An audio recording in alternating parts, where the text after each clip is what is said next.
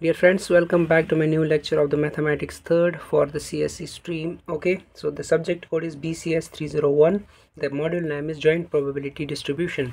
So let me give you the brief description brief explanation about the joint probability. What does it mean? So let x is equal to x1 x2 x3 up to so so on up to xm. And y is equal to y1 y2 so so on up to yn are two discrete random variables. So these are the two random variables means whose values are unknown okay? Then the joint function of x and y is defined as p of x is equal to xi means when we just move forward for the question you will understand what does this uh, x and xi means. xi means uh, there are a lot of values of x uh, x over there. So here suppose in this question 1 and 2 so this is x1 and x2 okay? So and y is equal to yj means y1 y2 y3 that is why i'm writing here as yj okay? Which is also you can write it as p of xi comma yj means you have to uh, find out the probability of both these uh, discrete random variables. Means x and y togetherly you have to find uh, uh, sorry probability okay? That is called as joint probability distribution okay? Or simply you can represent it as f of xi comma yj means in uh, togetherly x and y you have to find out the probability. And these two conditions must satisfy over here that is f of x comma y mean, means when you find the probability that should be greater or equal to 0 or when you sum these probabilities f of xy f of xi and yi it should be equal to 1 over there. So these two conditions must be satisfied in this case so that then we can call it as probability distribution. So joint probability distribution. So uh, if i move forward for the question number first over here so that is the joint probability distribution of two random variables x and y as follows.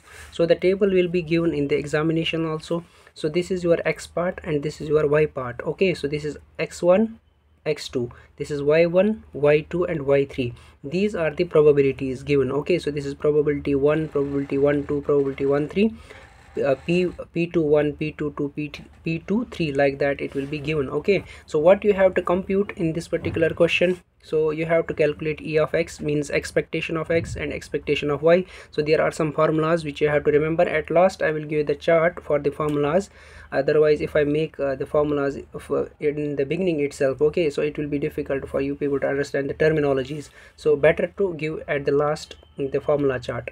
So sigma x means variance and uh, sigma y also the variance over there okay? So this is the expectation of xy and this is the correlation between x and y. We have to calculate these four terms okay? So let's start this uh, the first the very first question over here okay?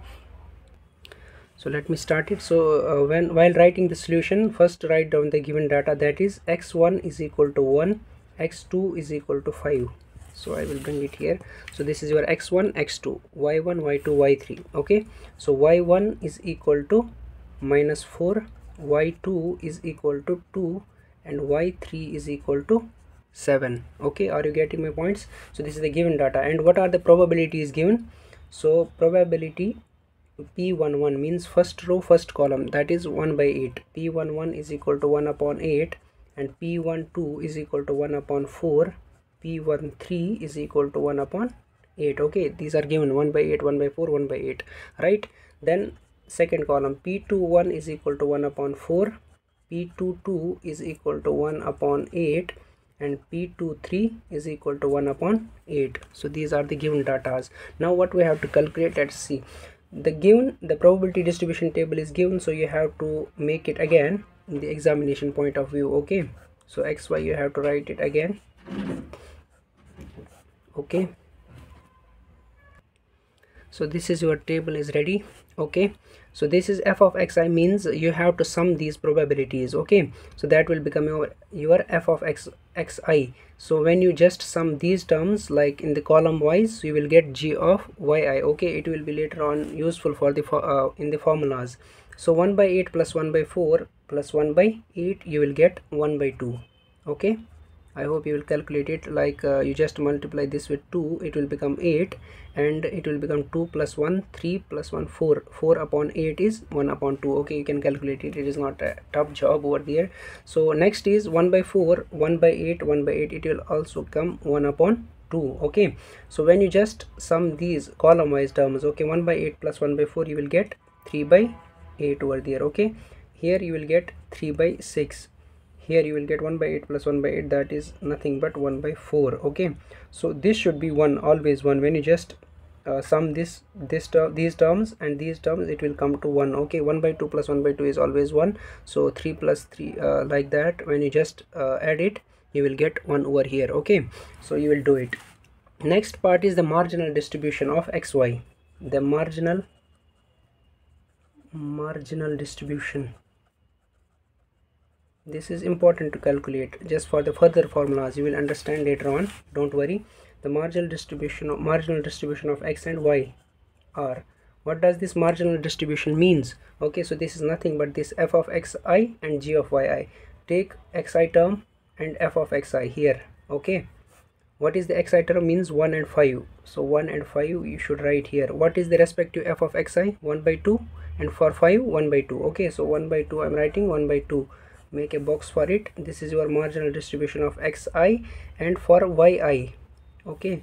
So for yi what are the yi terms? Minus 4 2 and 7 with respect you have to write g of yi. Okay. What is the g of yi for minus 4 so it is 3 by 8 right. So for 2 it is 3 by 6 and for 7 it is 1 by 4 this is your marginal distribution table. So you have to calculate it and make it separate okay so that you can use formulas with ease over there. Right? I hope you are following. And now first term what we what we are supposed to calculate that is compute the following expectation of x and expectation of y. So we have to calculate this. So the formula for expectation of x it is given by summation of xi into f of xi. Very simple formula. Means xi what is the uh, xi value? 1 okay 1 into what is the respective value of f of xi? 1 by 2 so 1 by 2 you have to do summation of these terms. 1 into 1 by 2 plus this term 5 into respect to f of xi. Okay so 1 upon 2 this is clearly mentioned here summation of xi f of xi. Means you have to multiple this and this term plus this into this term. Okay i hope you are following. And you will it will come uh, over here that is 1 by 2 plus 5 by 2 that will become 3 over here okay? So you can calculate it. So next is expectation of y okay? So expectation of y is simply equal to summation of yi g of yi okay? So yi is here and g of yi is here okay? So you have to write it accordingly. Minus 4 into 3 upon 8 right? Plus 2 into 3 by 6 okay? In sorry plus 7 into 1 upon 4 7 into 1 upon 4 so when you calculate it calculation part is yours. I don't want to make this video too long dear friends. That is why i'm uh, uh, uh i'm avoiding this uh, what we call calculation part okay? So which is which will come here as 1 the answer will come as 1 here. So this is expectation of y is equal to 1 and expectation of x is equal to 3 i will just make a box for it so that later on it will become easy for me to put the values. Okay this is your second part is over. Sorry this is first part. Expectation of x and expectation of y. It is over. Now what we have to calculate? Uh, expectation of xy so see here how we calculate expectation of x and y so in order to calculate expectation of xy there is no formula but you have to check the table okay? So see here dear friends you have to summation you have to do summation of these terms like 1 into minus 4 into 1 upon 8 okay? So 1 into minus 4 into 1 upon 8 this is your first term plus this 1 into 2 into 1 upon 4 respective probabilities you have to check 1 into minus 4 into 1 by 8 1 into 2 into 1 by 4 1 into 2 into 1 by 4 plus 1 into 7 into 1 by 8 i hope you are following. 1 into 7 into 1 by 8 this is your first first uh, terminologies. Then plus 5 into minus 4 into 1 by 4 5 into minus 4 into 1 upon 4 okay? Another term.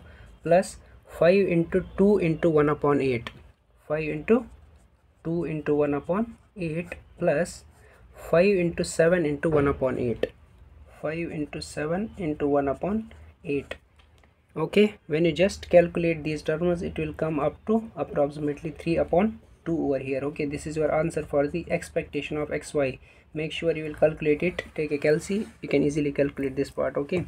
Simple multiplication is over here so this is your expectation of x y.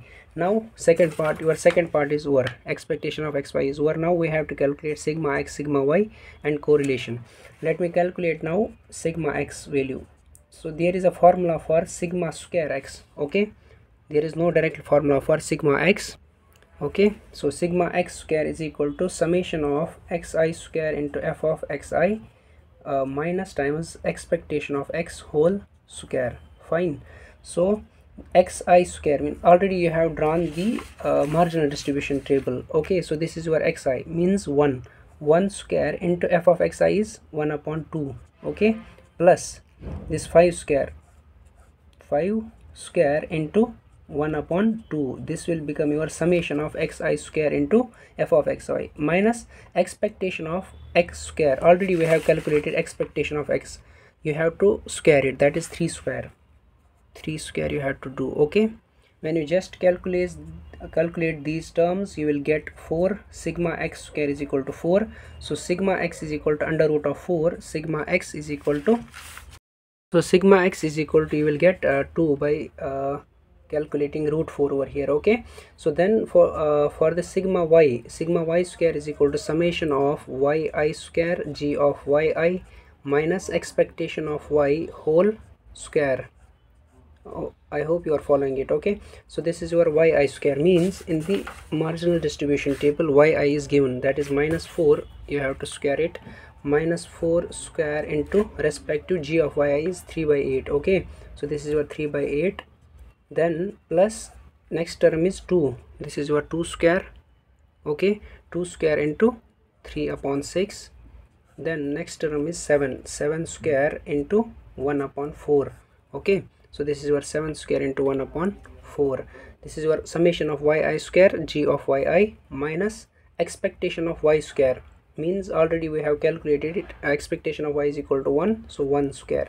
Once you calculate sigma, uh, sigma y square you will get 75 upon 4 so sigma y is equal to under root of 75 by 4 you will get sigma y is equal to 4.33 okay so this is your part calculation part.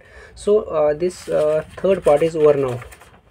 See here sigma x and sigma y is over. Now we have to calculate correlation of x uh, x comma y. So before going to this term we have to calculate one term over here which is extra. So this is covariance of x comma y. So it is given by expectation of x into y minus times expectation of x expectation of y. Only you have to put down the values of expectation of xy and x uh, ex and ey so what is the value of expectation of uh, xy so here you have calculated 3 by 2 so 3 upon 2 minus what is the value of expectation of x? So it is 3 and expectation of y value is 1 so it's simply 3 into 1 when you calculate covariance of this you will get minus 3 upon 2 by calculating the above term. Okay this is your covariance. So now we can calculate the fourth part that is correlation of x comma y. It is given by covariance of xy okay divided by sigma x and sigma y. Now covariance already calculated. So what is the covariance value? Minus 3 upon 2 upon sigma x sigma x value already we have calculated that is 2 over here okay? So sigma x is equal to 2 into sigma y already calculated 4.33 so when you calculate this value so you will get correlation of x comma y is equal to minus times 0.1732 this is all about the joint probability question. I hope this is clear to you people. Make sure you will uh, share this video to all your friends who actually need it. So thanks for watching my video